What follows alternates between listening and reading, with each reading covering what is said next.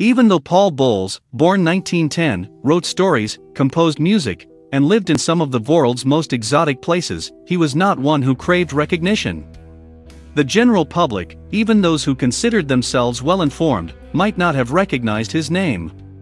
Yet, Bowles became the standard bearer for the Beat generation, commonly referred to as Beatniks.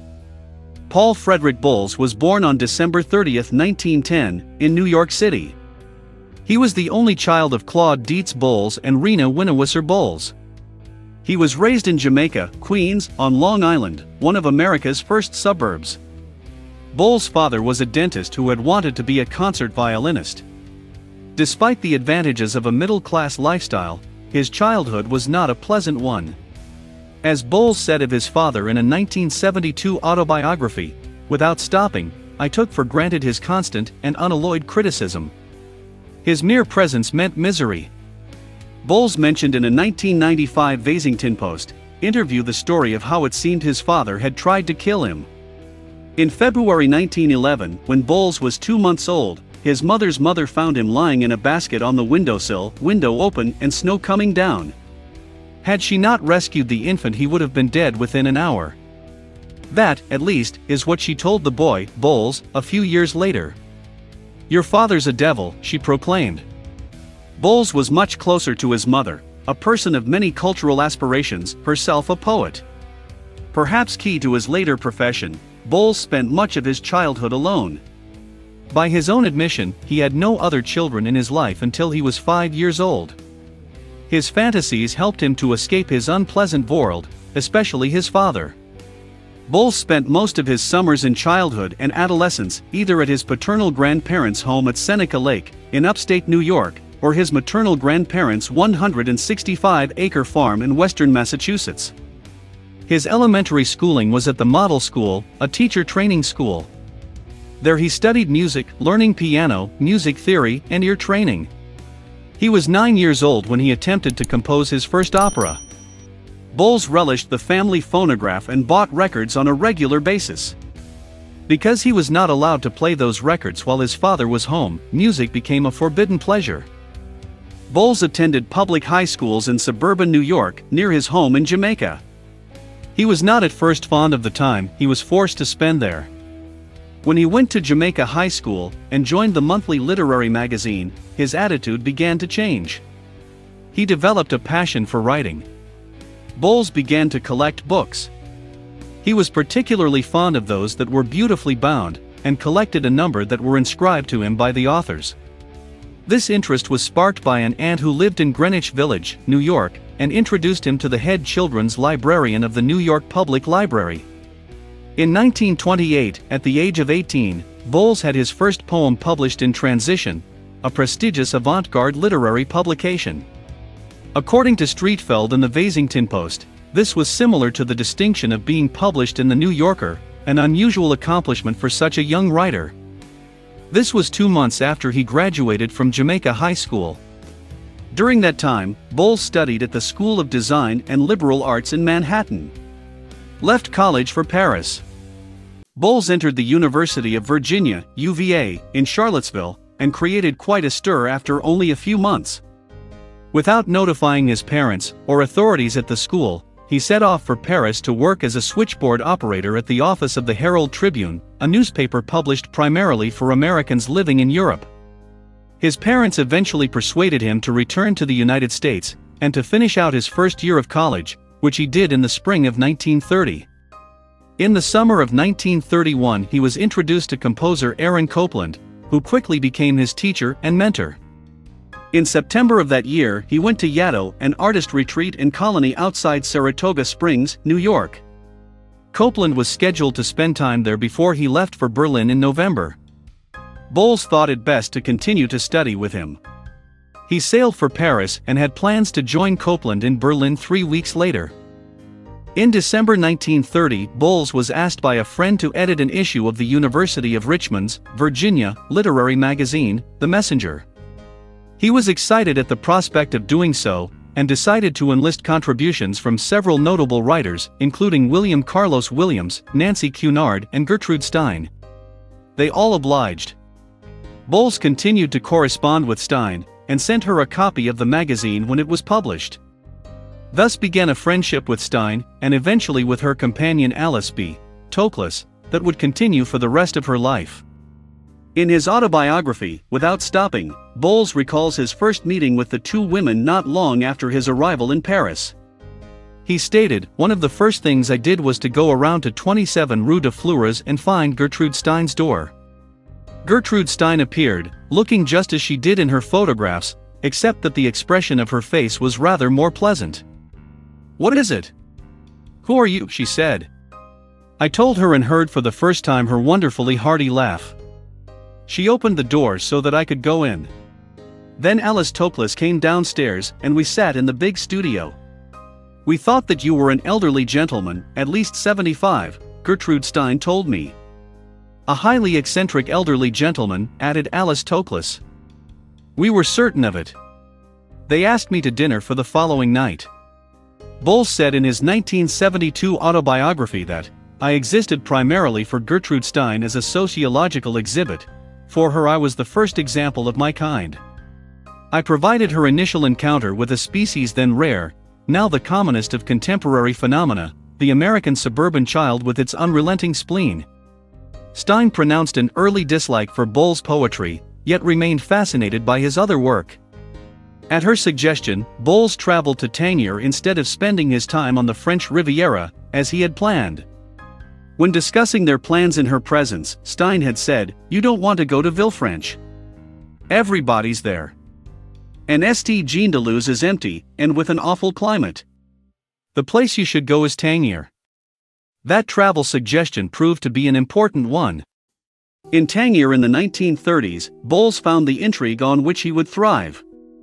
In 1948, he moved there permanently, from Paris, Bowles went to Berlin to continue his studies with Copland. There he met British writers Christopher Isherwood and Stephen Spender. Isherwood's story, I Am a Camera, that was taken to the Broadway stage in the late 1960s as the Mushel, cabaret, patterned the lead character after a friend of his. For the story, Isherwood adopted Bowles' name. His character was called Sally Bowles.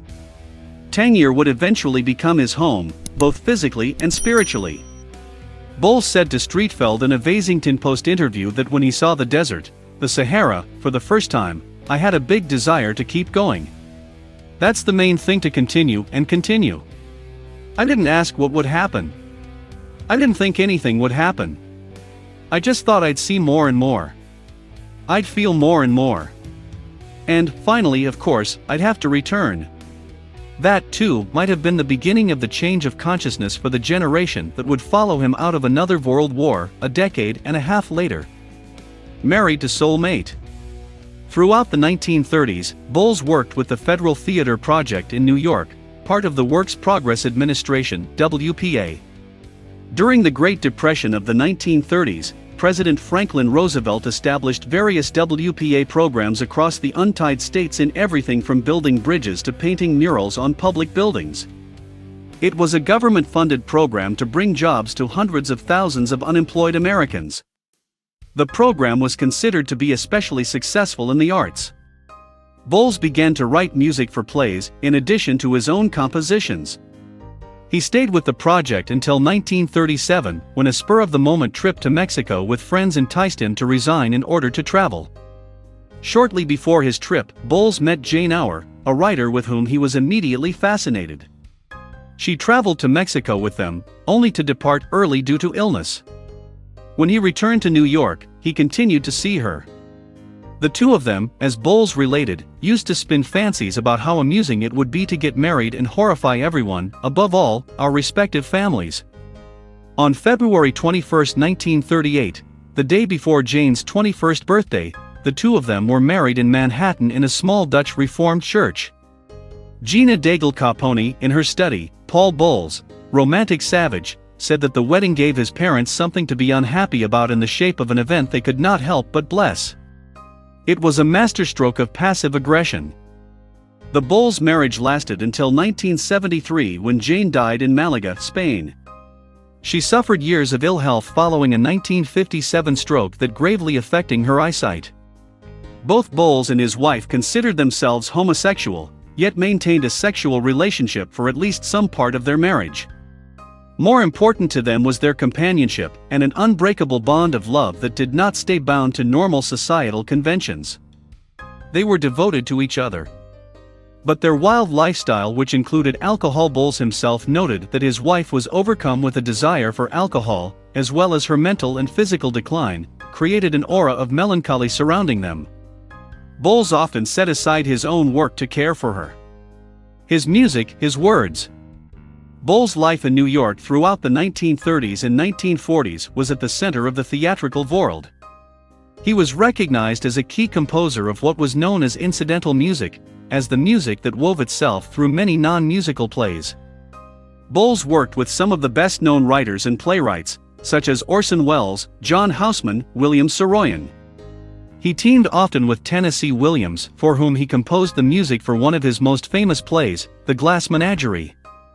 K. Robert Schwartz in a New York Times article quoted composer Ned Rorem, the melodies say what they have to say, and then stop, without beating a dead horse. The accompaniments are exquisite, honed and pared like four.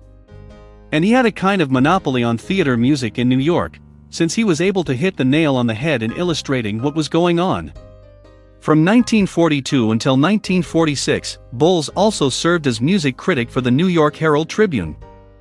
He wrote over 400 well-respected and sharp-witted reviews. Bowles pursued other music as well as his own. In 1959, he received a grant from the Rockefeller Foundation for a special project sponsored by the Library of Congress. His Moroccan music collection, housed in the Library of Congress, included recordings Bowles made during the four-month project. In addition to the recordings of music native to his beloved Morocco, he gathered photographs and other documentation of Moroccan folk, popular, and art music. Bowles captured the music and dance of various tribes and other groups of the area at 23 different locations. He added to the collection with further recordings made from 1960 to 1962. Schwartz noted how Bowles' music contrasted with his novels and other fiction. Bowles commented on that too, having said, the music and the fiction both come from the same mind, but from different sections of it. It's like two separate gymnasiums. I leave the room where I'm writing the words, shut the door, go in the other room and write music. As prolific as his music had become, his writing was destined for a wider audience. The publication of his novel, The Sheltering Sky, in 1949 earned critical acclaim. The story focused on a married couple who seek life's deeper meanings throughout a spiritual journey through the desert. It was noted that the couple bore a striking resemblance to Jane and Paul Bowles themselves. Bowles enjoyed a resurrection of interest in all of his writings, as well as his music, when famed Italian film director, Bernardo Bertolucci turned his most famous book into a movie, starring American actors Deborah Winger and John Malkovich. His other novels, which also dealt with Tangier and his journeys around the world, included Let It Come Down, 1981, The Spider's House, 1982, Points in Time, 1984, Too Far From Home, the selected writings of Paul Bowles, 1995, and Up Above the World, reprint edition, 1996. Among his numerous short stories were The Delicate Prey, A Hundred Camels in the Courtyard, Call it Corazon, and A Thousand Days for Mokhtar. Bowles was known as a translator of many Moroccan folk tales. Perhaps as fascinating as Bowles' fiction and poetry were his own autobiographical journals and letters to friends. In Touch, the letters of Paul Bowles, edited by Jeffrey Miller in 1994, revealed much of his personal life from 1928 through 1989. Bowles was a man who had led a life apart from the eye of the tabloid press. He did receive many visitors to his home in Tangier, although he had no telephone. Those who came, the famous and obscure, believed a visit to Bowles was essential if they were to be taken seriously by the literary world. When Streitfeld interviewed Bowles during his 1996 visit to the United States, he had traveled to the States to receive medical treatment at Emory University in Atlanta. Bowles indicated that what kept him going during his stay in Atlanta was the thought that he would be returning to Morocco in a few days. Streitfeld asked him if he would ever come back to the States, especially for a planned festival of his music that spring. All Bowles said was, I hope not. In his late 80s, Bowles seemed ready for death. He had been the young man of the charmed Paris set before the war. He was the older man among the generation of the Beats, all of whom he outlasted many by decades. His stamina, his self-proclaimed discipline imposed from his childhood, served him well. He survived all of the intoxicants the others did not. Bowles ended his autobiography with this contemplation in the very last paragraph, Goodbye, says the dying man to the mirror they hold in front of him. We won't be seeing each other anymore. When I quoted Valéry's French poet, epigram in the sheltering sky, it seemed a poignant bit of fantasy. Now, because I no longer imagine myself as an outlooker at the scene, but instead as the principal protagonist, it strikes me as repugnant. To make it right, the dying man would have to add two words to his little farewell, and they are, thank God.